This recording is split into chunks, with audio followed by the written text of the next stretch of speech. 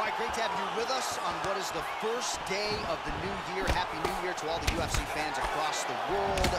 I had a little bit too much to drink last night.